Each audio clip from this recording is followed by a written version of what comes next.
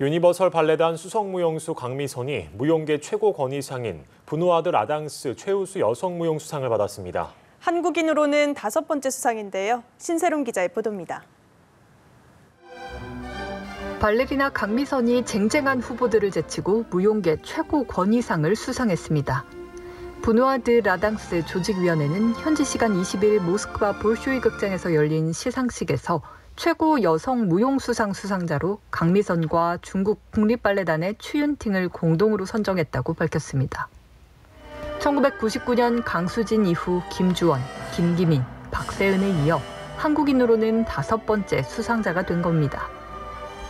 시상식 후 이틀간 펼쳐지는 무대에서는 이동탁 발레리노와 함께 한국적 요소가 담긴 미린의 길과 춘향 두 작품을 선보일 예정입니다.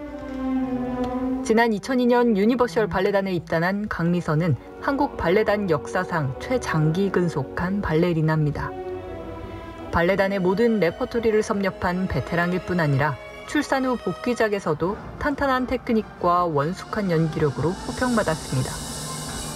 제 인생의 거의 반을 어, 발레단에 있는 거에 대해서 굉장히 감사하고 또 굉장히 영광으로 생각을 하고 있어요.